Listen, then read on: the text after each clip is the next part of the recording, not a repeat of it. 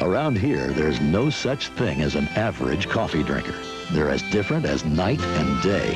That's why Community doesn't make an average coffee. We make a variety of pure coffees, like dark, between, and medium roast. A decaf, even a coffee with chicory, New Orleans blend.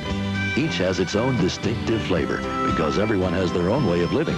They've even got a coffee to go with it. Community. Whatever you've got a taste for, we've got a taste for.